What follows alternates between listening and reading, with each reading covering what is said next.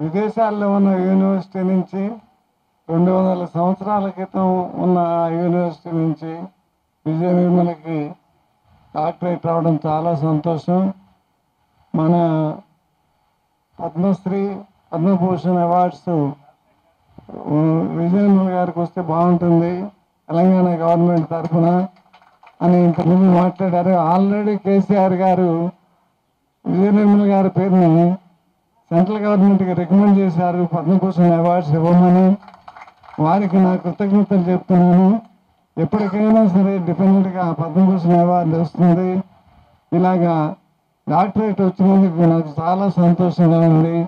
Doctorate ఇచ్చిన ఈ university వారికి నా కృతజ్ఞతలు చెప్పుకుంటూ సెలవు తీసుకుంటున్నాను.